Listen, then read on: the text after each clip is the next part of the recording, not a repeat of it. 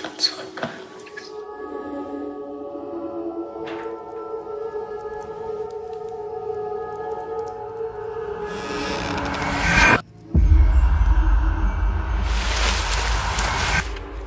Wer ist das?